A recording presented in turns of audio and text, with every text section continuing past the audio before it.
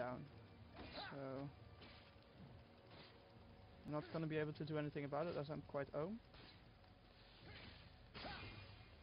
Hmm, so that's uh, too bad. He saw him coming and he decided to go all in. Mm, not something I would have tried. However, uh, There, yeah, uh, he, he went for it. He could have gotten ahead right there, but uh, personally I wouldn't have uh, done so. If it is your wish.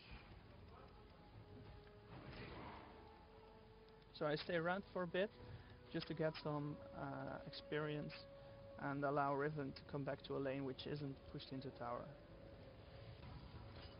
So pick up some items.